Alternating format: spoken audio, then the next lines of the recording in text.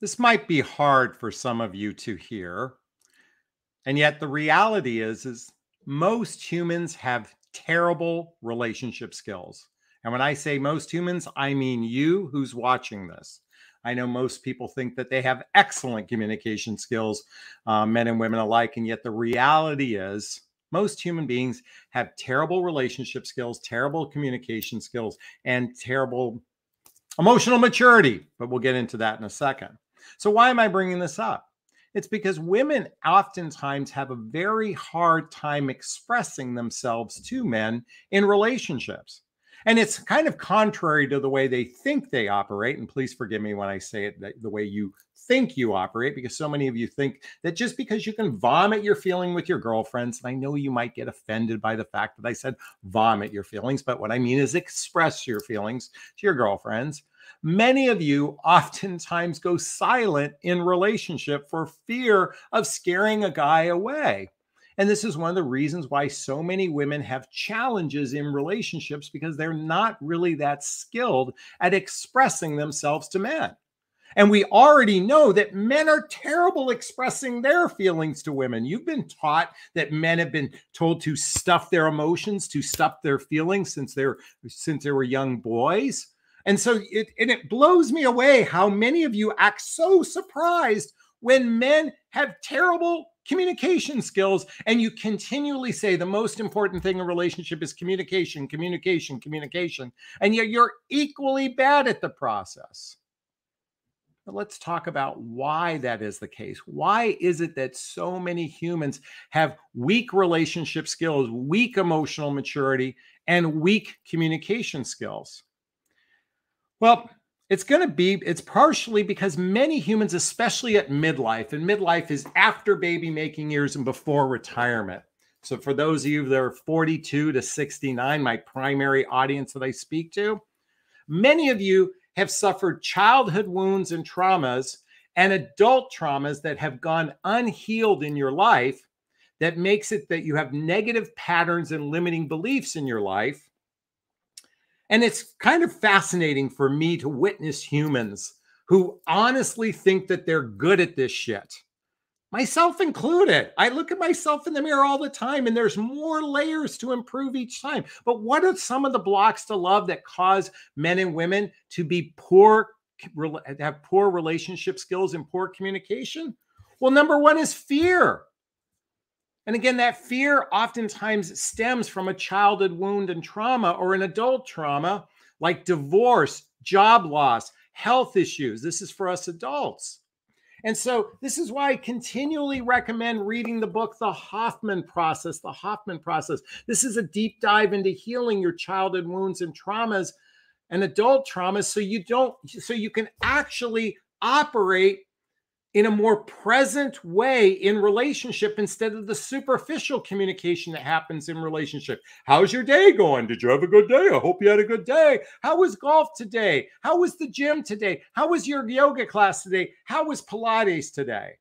And most people just vomit out a bunch of words without really expressing what's going on inside the heart.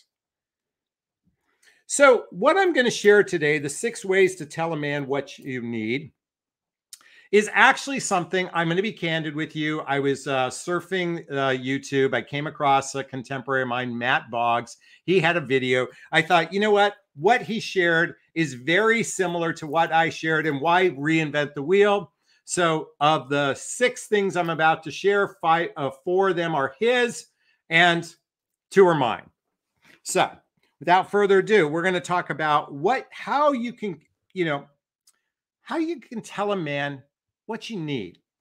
And number one, I've been saying the following for years is start a sentence with, I need your help. I need your help. You know, and it can be for anything. It's not about needing help uh, in doing like physical labor. I need you to take out the trash, or can you open the, uh, um, can you open, um, you know, a jar of peanut butter kind of thing, you know, to make them feel masculine. I'm not talking about that kind of help you can actually start this in the way is I need your help. I'm feeling insecure in this relationship because um, you in the beginning you began communicating with me on a regular basis and it's dropped off. And i'm actually feeling a bit insecure in this relationship because of that. And i'd like your help on curing that. I'd like your help on healing that now that's a very vulnerable thing to put out there to say you're insecure but jonathon all the other dating coaches tell me to be confident because confidence turns on a man Folks, let me tell you something. True connectivity of the heart, truly connecting at a heart centered level, is actually being vulnerable with another human being. If you're not familiar with the work of Brene Brown, please Google her, read her book, Daring Greatly, watch her videos. But she says vulnerability is the essence of courage. So I invite you to lean into asking the question I need your help to solve a problem about you, but that's making me insecure. now, I'm laughing a little bit because it might sound funny. And yet, if you're with a guy or you're with somebody that genuinely cares about you, it's going to be okay. If you're not familiar with my book, What the Heck is Self Love Anyway? A Journey of Personal Development, Self Help, and Spiritual Work. By the way, there's a link below to get all the books I recommend. Chapter one Speak your truth. Just do it from a kind place. And chapter nine, if it's sincere and from the heart, you can't say the wrong thing to the right person. So if you express a vulnerability, it's okay when you're with the right person. It's not going to work with the wrong person. But guess what? You don't want to spend time with the wrong person. I need your help. Can I ask you a favor? Things like that. Okay, number two, three, and four are kind of the same thing. First, you want to acknowledge something a guy did. Acknowledge something he did. That's the first thing. So let's think of something he might have done. You know, he, you might have said, um, you know, you might acknowledge the beginning of the relationship. I really appreciated in the beginning of the relationship how attentive you were. I really appreciate how attentive you were in the beginning of the relationship. So acknowledge that. What you want to avoid next is the dreaded but. B U T, not B U T T, because we all like nice butts, and I cannot lie. And the other brothers can't deny when a girl walks in with itty bitty waist and a round thing. Okay, I got off on the tangent. You don't want to say, you acknowledge something good. You don't want to say but, because that negates everything you just said. So acknowledge. And the next thing, number three, you want to use the and statement, A N D, A N D. And you want to acknowledge that you said you acknowledge that he did something really good in the beginning, but you've noticed a shift. And I've noticed a shift lately. And in that shift, I find myself feeling less safe in the relationship. I feel less safe in the relationship. So now you're expressing something that you know, he might be able to work on and fix. Again, it's a vulnerable thing.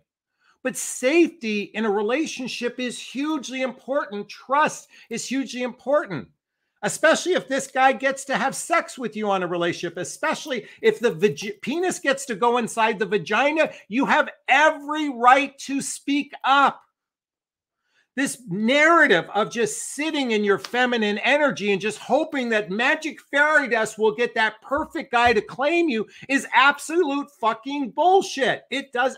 Okay. It's like the broken clock, it happens twice a day. Okay.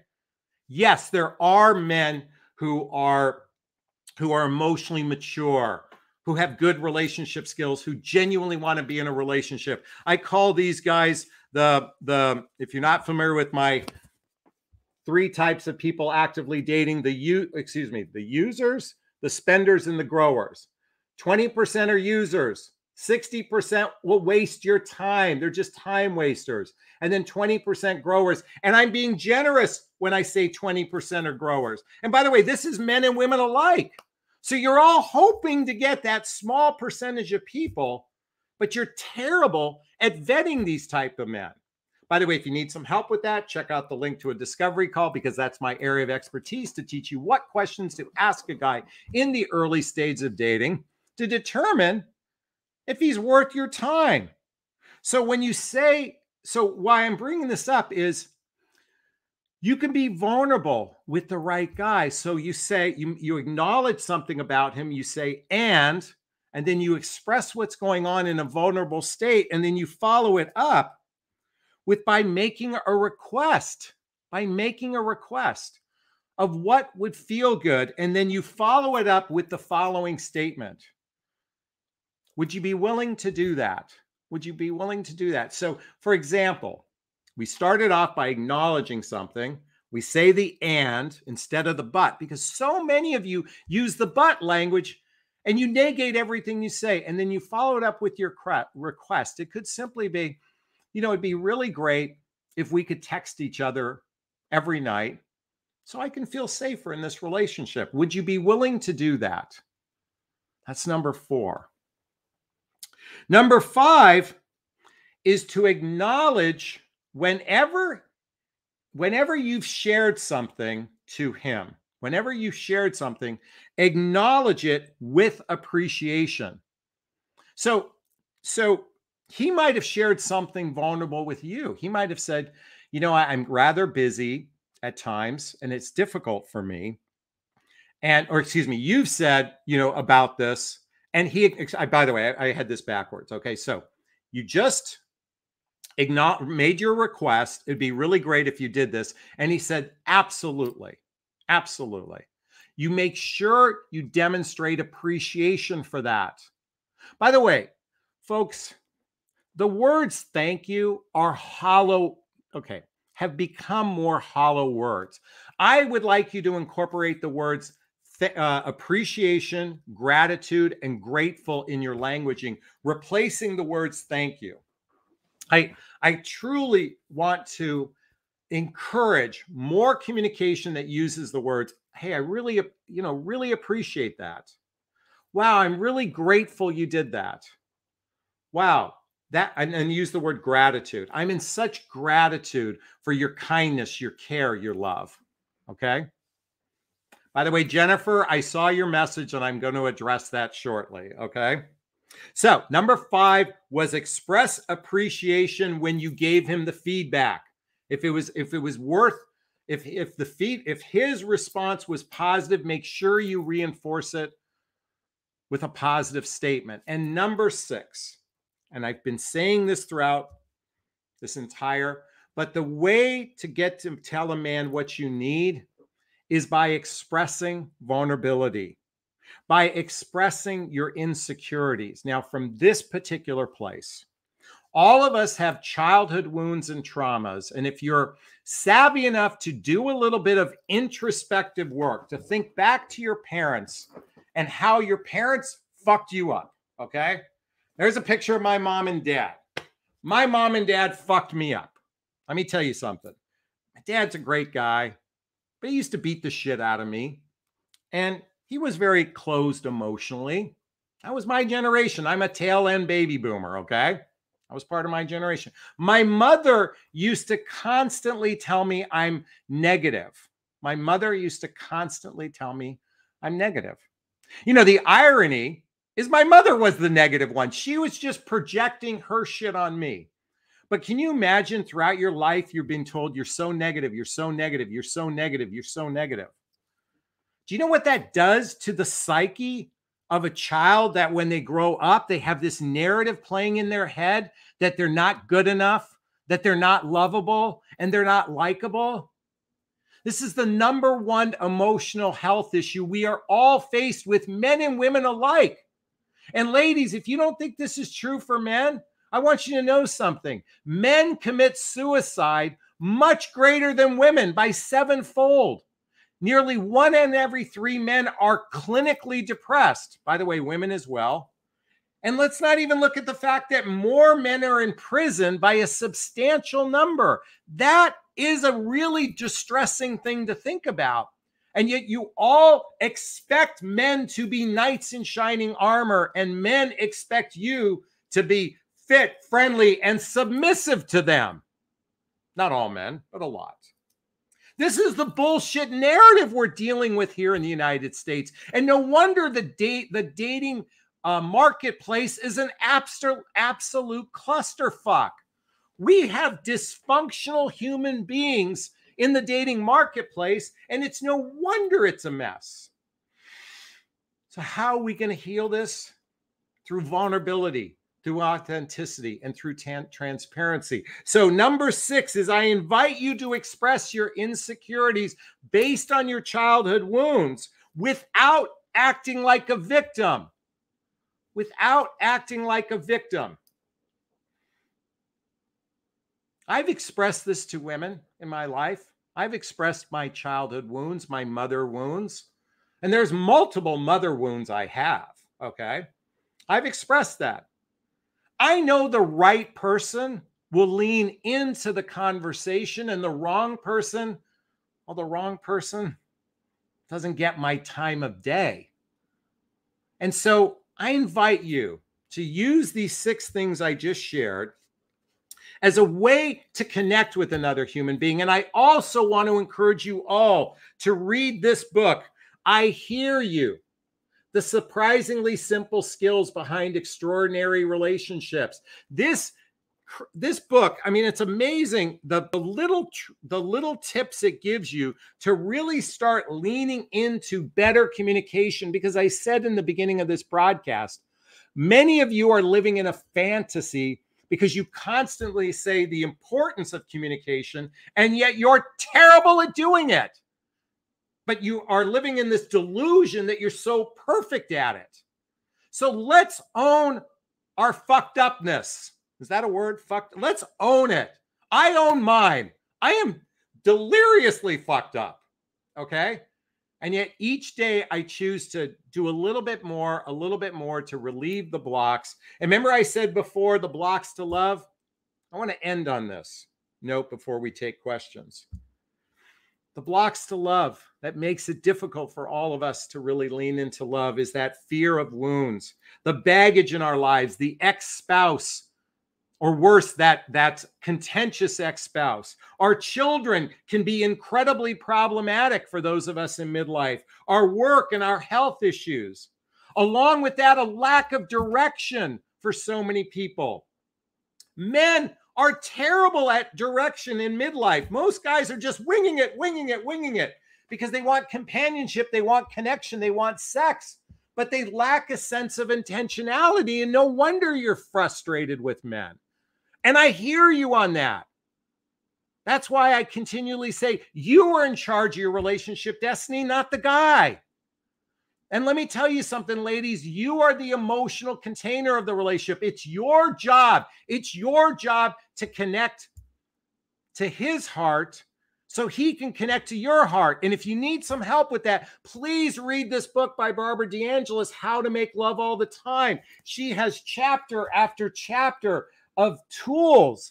This is the tool chest to help inspire him to connect with his heart. Because, listen, guys, I'm the unicorn because I do this shit for a living. Okay.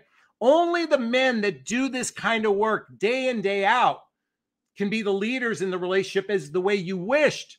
So you take charge of your life. And I know many of you are are wounded in this way. This is why I continue. And by the way, I know many of you are going, damn it, this guy just recommends a lot of books. Fucking, do you want to change your life? Then read the books I recommend, especially this one, Why Men Love Bitches. And bitch stands for babe in total control of herself. Yes.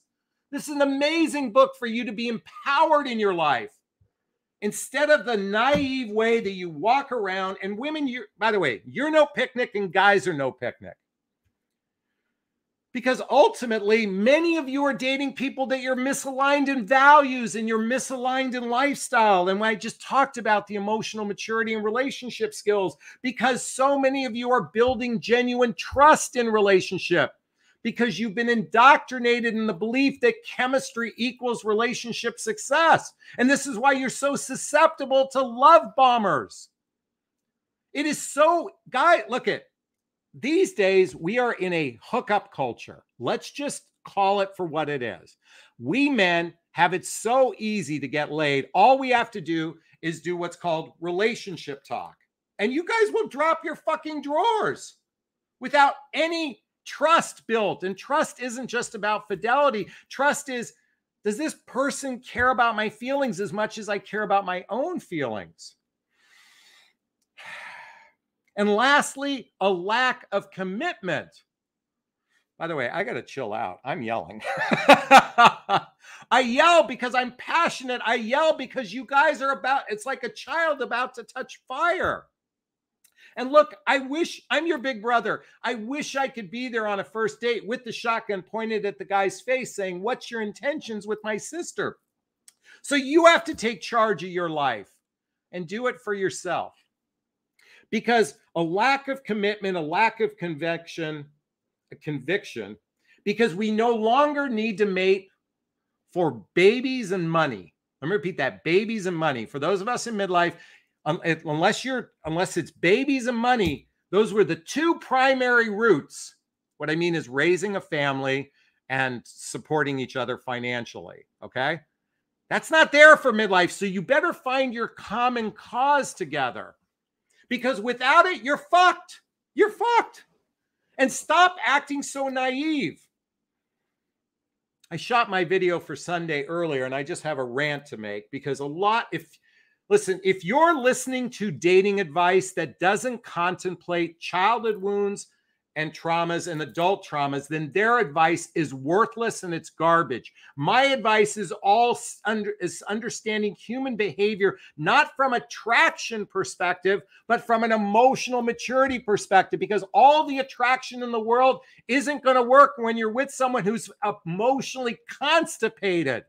And let me tell you something, you women are no better than men. You just think you are because you can vomit your feelings. Ah. Okay, I just vomited a lot of shit. That's my spiel the six ways to tell a man what you need. All right, those who know my format, uh, we're going to take questions. Actually, today I'm going to do a personal share. So if you have a question about my personal share, write the word personal question, then write the question thereafter, or please purchase a super sticker, super chat. There's a little dollar sign at the box below. All the or purchase a super thanks. All the monies from the super sticker, super chat goes to a scholarship fund in the name of my son Connor Aslay. That's him right there. He passed away almost four years ago. It'll be it's three years and 12, 11 months today.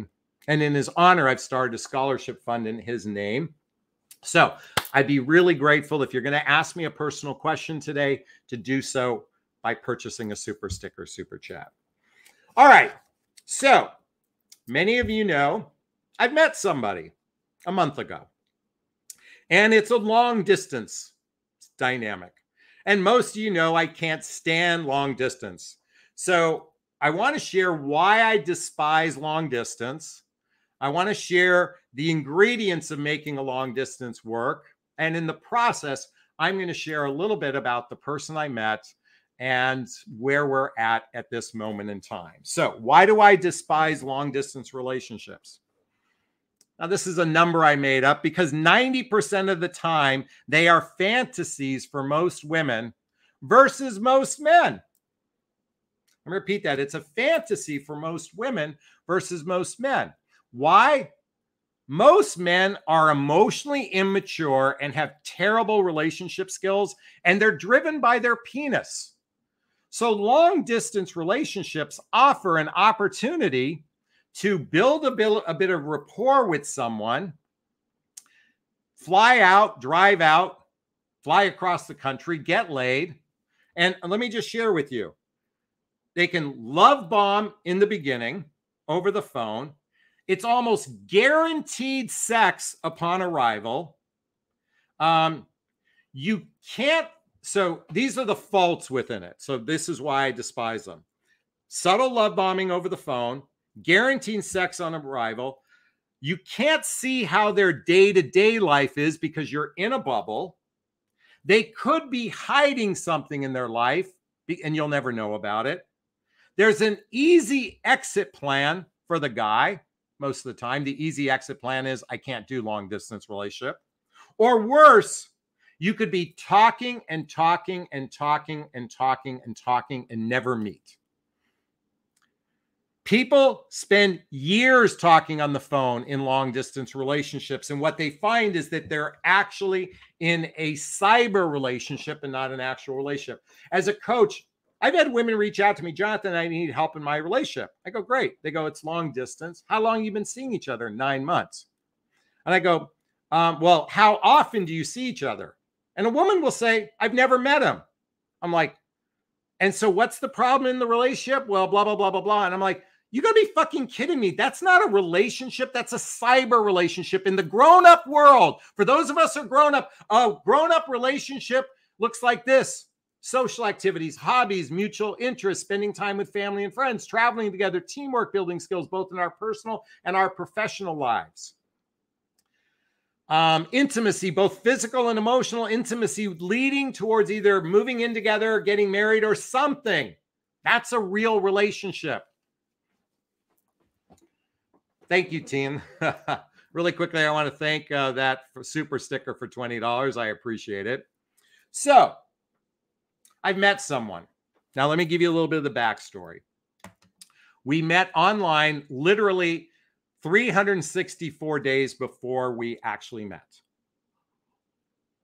She happened to be in Los Angeles. She lives in uh, Chicago. She happened to be in, she said, I have a daughter lives in Los Angeles and I'm thinking about moving out to be with my daughter. So I was searching, this is match.com, and I was searching and I came across your profile and I loved what you said. Your profile had so much depth. And I wrote her back and said, you know, call me when you're here because I didn't want to engage. But we end up getting on the phone and we talked on the phone. She's going to kill me for saying this now.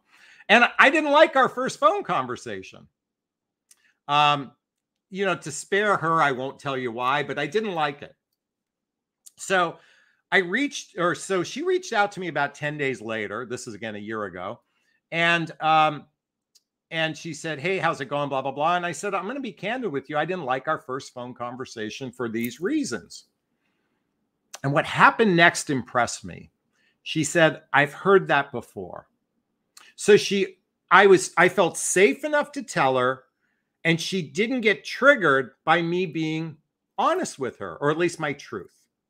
So it actually led to a deeper conversation. We ended up having a four hour conversation. This was roughly a year ago. And we agreed to become Facebook friends and keep in touch. So every little once in a while, there'd be a Facebook post. I'd see her pop up. I'd send her a message. You know, we jumped on the phone a multiple times throughout the last year, maybe a half a dozen or so times. We'd have one of these conversations for a couple hours because we liked each other's profiles.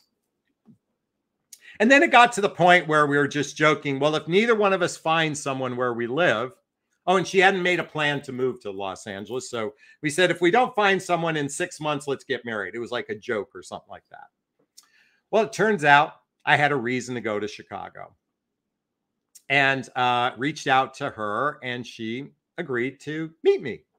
And we went out to dinner great restaurant. It was one of those romantic kind of restaurants that was overlooking the river in Chicago. It was a beautiful evening that night. I got lucky. It was a perfect evening. She got a great table at the bar, high table at the bar. Minute we locked eyes, there was just this mutual attraction, and she gave me a big, gigantic kiss. Uh, and I share that because we had built rapport with one another. We built rapport with one another. And it was built on without an expectation. It wasn't me love bombing her. It wasn't me telling her, oh my God, you're so amazing. You're so amazing. You're so amazing. There was no like futurizing or anything like that. I just was meeting a friend, but with something more. So we end up uh, spending, you know, the you know a ton of time together uh, that first night, and then I invited her to the wedding I was going to. So we got to spend a little bit more time together. And I found myself genuinely missing this person. I found myself appreciating this person. There was a strong bond between us. So, what, and I mean that initial chemical chemistry kind of bond that wasn't lust or limerence. It wasn't just that she's beautiful and attractive. There was something more. There was something like an energetic connection between us. And just uh, for the record, I'll show a picture so you guys can all see. Um, and here's a picture of the two of us at the wedding. Okay, you can see that. And this was our first night out. I'll just lift that up so you can see us out. She's drop dead gorgeous. She's got a sweet heart. So, one of the ingredients was this strong connection and I'm going to say there was a sexual attraction between the two of us.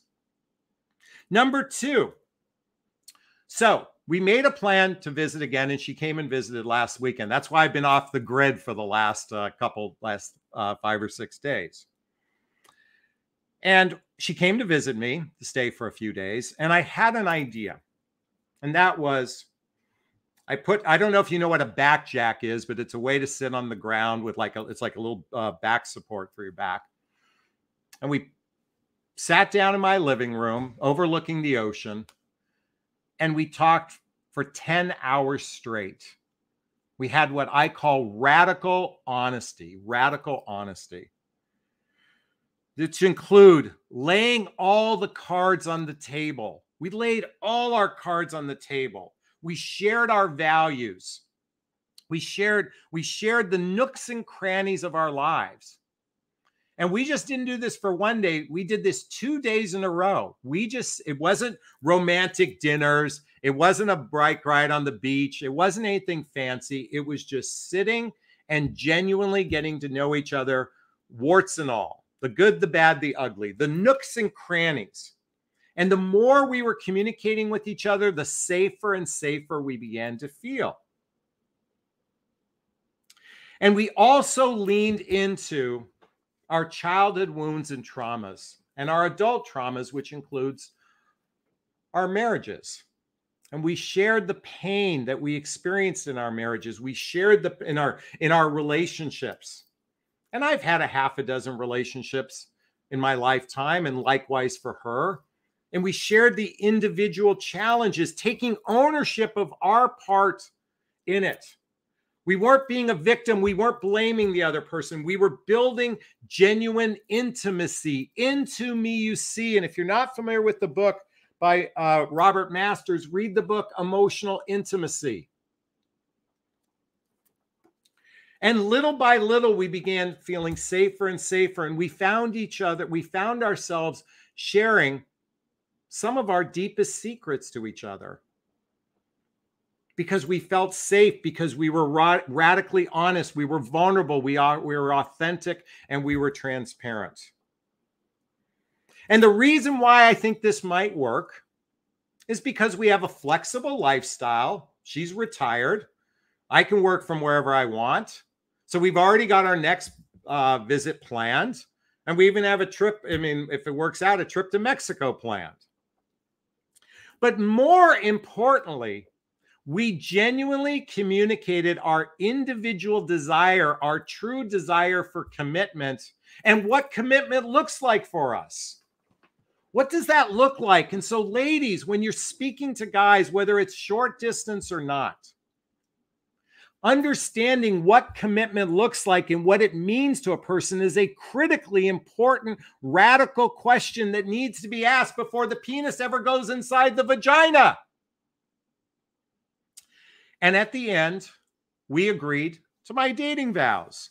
And many of you know my dating vows.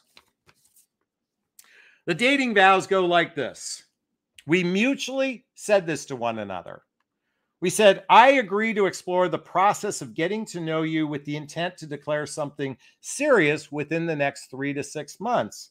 I agree to be monogamous sexually while we're having regular sex together. I agree not to actively seek to meet and date others while we're in the dating process, which includes taking down my dating profile. Again, we're mutually saying this to each other. We agree that if this isn't working, we're going to speak up instead of pulling back ghosting, or disappearing. And lastly, we agree to inve- invest regular time in the process to get to know one another. And we already find ourselves spending hours on each day talking on the phone. And folks, let me just tell you something. As a person who has to, who does spend most of his day talking on the phone professionally, the last thing I want to do is talk on the phone. And yet I find myself absolutely smitten by this person. I find myself feeling a sense of trust. I find myself with enthusiasm and I appreciate that she's showing up the same. So I I want to share one more piece with you all. Because the reality is is I'm the expressive one in this relationship, a little more so than her. I mean, I'm I'm just more. That's because I've been doing this work over and over and over again. I've been reading these books like Nonviolent Communication by Marshall Rosenberg. I read all these books, and particularly, I'm reading the book by Gary Zukav, Spiritual Partnership. This is a great book to get into the meat and potatoes of what it takes to have genuine intimacy in the relationship. And I'm leading the process. But, folks, I'm a unicorn because I do this for a living. Guys don't, they're not connected with their emotional side. So, you have to lead this process to have any chance to have real intimacy. So, whether it's distance or not, you need to have a strong bond right from the get-go or it isn't going to work. And not lust or limerence because that's a that's a that's like that's like crack cocaine. You need to have a, a connection beyond the physical. You need to be radically honest with one another because without it, you're not going to get to true intimacy with a partner. And you need to be with an emotional grown up. She has done LifeSpring. She's done personal development workshops. I've done the Hoffman process. I've done Insight. I have over 3,000 hours. I have a neuro linguistic programming certificate. I've done Reiki, 3,000 hours of workshops and trainings and videos. It's going to take some work to become empowered. If you need some additional help, go to the back of my book I lay out all of the teachings right there. You can see all of the teachings I used to get to where I'm at. And I invite you to do the same. Because if you want to have that juicy, delicious, healthy relationship, ladies, you are the emotional leaders and container of the relationship, not the guy. You can hope, you can just sit in your feminine energy and hope and hope and hope and be that broken clock and get lucky a couple times. But if you don't address the traumas and wounds in, in your life, then you're not going to be prepared to hold space for somebody to do the same in their life. And because I've done this work and she's done this work, we're in a much greater chance of success. And while I'm not a big fan of long distance, I'll be candid with you. I'll be candid with you. I kind of like it because I like my alone time too. so anyways, that's my story, and I'm sticking to it. So uh, I'll spend the last minute or two taking questions from anyone. We'll take a look at the questions. If you have a personal question to ask me about this, and I again, please, I know I'm the guy that says long distance is bad, and I explain why they're bad. And I also shared today why I think it's good. So we've got a question here from Weejan. Okay, question. I finished the book Why Men Love Bitches. I love it and learned a lot. Thank you for jesting it. May you please explain the difference between checklist and standard? That's a good question. So it's funny. Um, I'll share with you her name. Well, I don't want to share her name yet. Um, but I realized I had this horrific checklist, and she didn't fit a lot of things in it. Um, check standards are things of character. Checklists are the superficial things. Your standards are actions matching words, victor consciousness, knowing how to uh, fight fair, empathy, transparency. Those are standards. Checklist is he's got to be six foot two. He's got to be make two hundred thousand dollars a year. He needs to drive this kind of car. He needs these. These are the checklists in life. And so, Weejan, I hope that answers your question. All right. Let's go to Heather. You've been a dating coach for quite a long time. Just wondering if any of your advice has changed over the years. Okay, good question. Yeah, my advice is my advice continually continually gets tweaked as my awareness of things begins to expand. So, for example, I used to be the biggest fan of online dating, the biggest fan. Now, because of swipe apps, swipe applications, I, I I'm going to tell you it's bastardized the dating process. Now I still believe in online dating, but not as much as I used to. So yes, things have changed in my life. Um, in the beginning, I used to tell women a little bit more of the traditional advice. Now I'm kind of like, look, you're in charge of your life. You you take charge. Don't give that to a man. So yes, I have definitely changed. By the way, folks, one of my biggest problems and why it's taken me so long to find someone is I've been my own worst enemy. The dating coach in me fucking over analyzes everything. It analyzes it, analyzes it, analyzes. And I am my own worst enemy. I constantly, I mean, I cannot turn off the dating coach. It's kind of funny because I I reached out to my ex-girlfriend, who's my dear friend now, and she told me, What would the dating coach and you tell you about this dynamic? And I said to her, I'm fucking exhausted by the dating coach in me. That I want him out of this relationship and I just want to be Jonathon. And I got to tell you something, ladies. I think for the first time in my life, I've actually sat with someone. We did 30 hours of talking over three days. And I find I found myself without the armor, without the mask, without the the um what's the word I'm looking for? The um persona of Jonathon.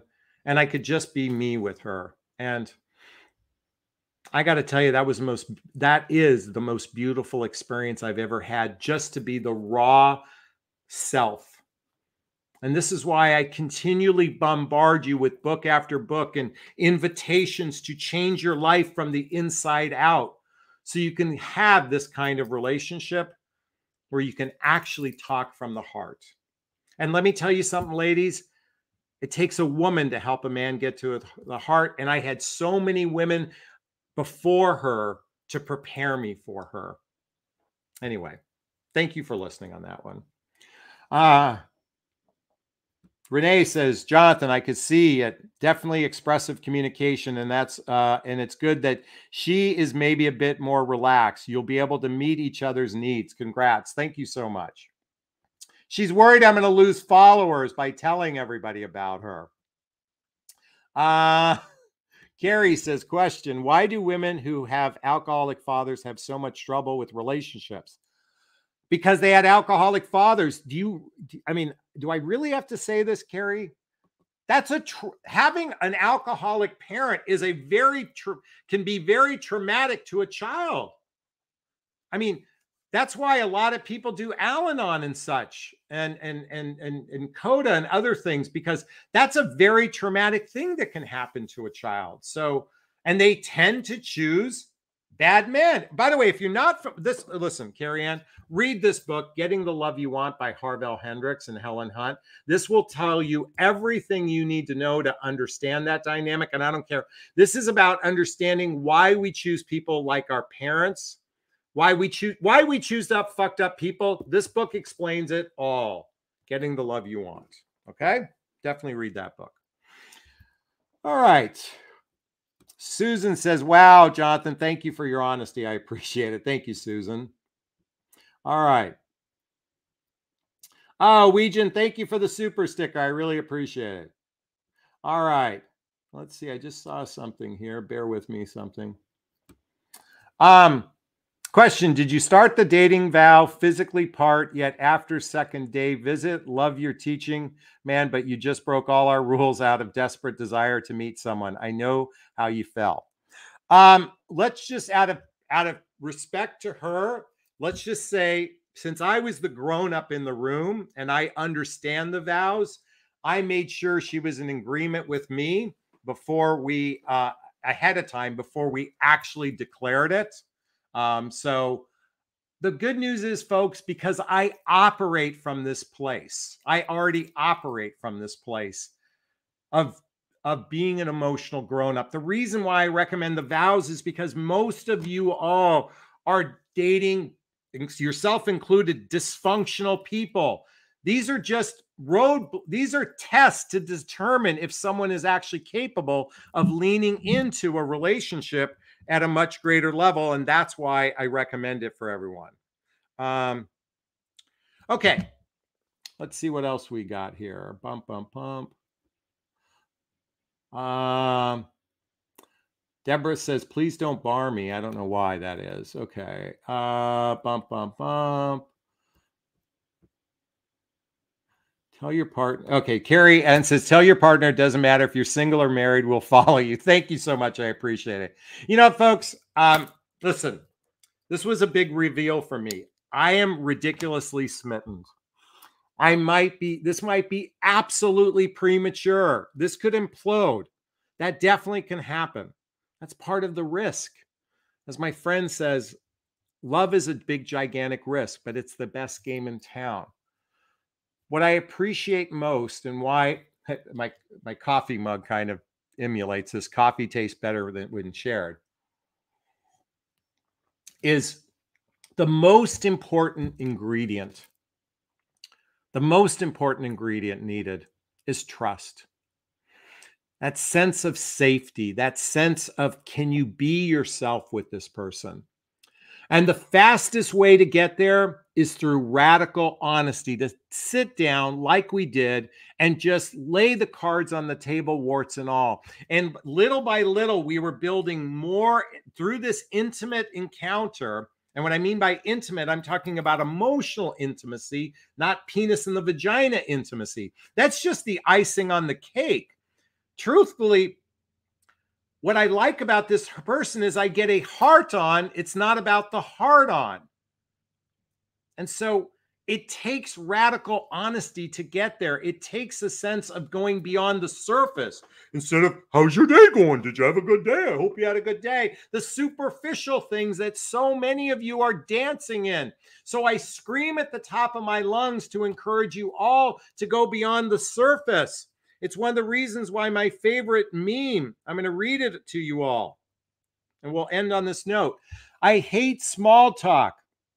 I want to talk about atoms, death, alien sex, magic, intellect, the meaning of life, faraway galaxies, music that makes you feel different, memories, the lies you've told, your flaws, your favorite sense, your childhood, what keeps you up at night, your insecurity and fears. I like people with depth who speak with emotion from a uh, with a twisted mind, from a twisted mind. I don't want to know what's up.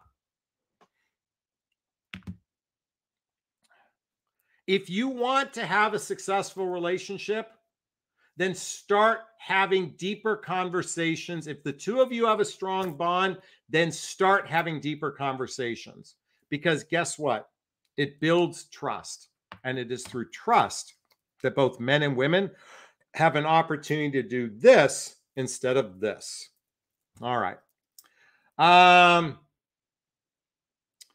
Pamela, uh, I'll post the dating vows in the description. Okay. All right, folks, everybody, I want to thank you so much for allowing me an opportunity to share. This has been an absolute pleasure for me to be able to invite you into my life a little bit. Um, I am I'm definitely very excited. I have no idea what the future holds, but I do I'm going to say this. This feels different than anything I've ever experienced and that's why I feel a little bit premature and positive all about it. So thank you for having my back. Thank you for supporting me. I'm so grateful to so many of you. And hopefully through this experience, I can even teach you more and more about how to attract a great guy and have that juicy, delicious relationship that we all desire. Men and women alike want genuine love in their lives. They just don't know how to do it. And I'm hopefully I hopefully I open the door for all of you. All right, this will be a great place to wrap up today. First off, I'm going to give myself a big, gigantic Jonathon Bear hug of self-love. I'm going to reach into the camera and give you a hug of love if that's okay. I'm going to ask you to turn to someone, a pet, a teddy bear, a pillow, and give it or them a hug of love because hugs are a great source of love. And let's face it, we could all use more love in our lives. I want to thank Deborah and Sue and Grace and Brenda and Cece and Riki Rika and Jennifer and Marianne and Sue. Let's see. Uh, Vox, uh, Christina, Kelly, Pamela, Karen, Kimberly's in the house. Uh, uh, let's see who else. Marta, Ruth, uh, and Carrie. Everyone, thank you so much. Wishing you a super duper wonderful, fantastic day. Bye bye now.